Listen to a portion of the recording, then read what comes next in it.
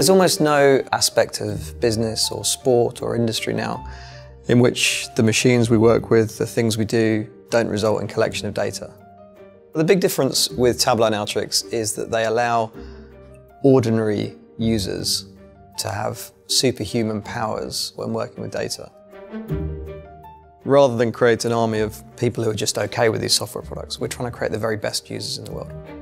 I jump out of bed every morning, can't wait to come in. They're also passionate and they want to learn.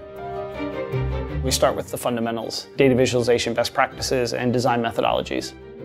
We also repeat that class with different instructors. So we give multiple perspectives and they can take the parts from each instructor to kind of help build up that foundational knowledge. The, you have the four months of really intense training in this training program that you don't have in others.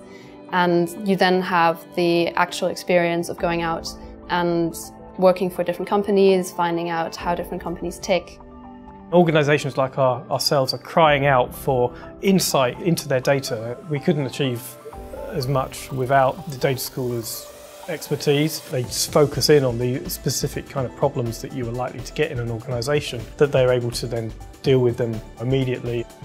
We don't just train up in Alteryx and Tableau, but we also practice presenting, we practice having meetings with clients, we learn how to structure calls, and how to communicate properly. We can go into businesses and help people find the best way to do things and ask the right questions of their piece of everybody that's been through the data school. The reason that people are coming out of the school with exceptional skills is not because of the training program, it's because of who they are.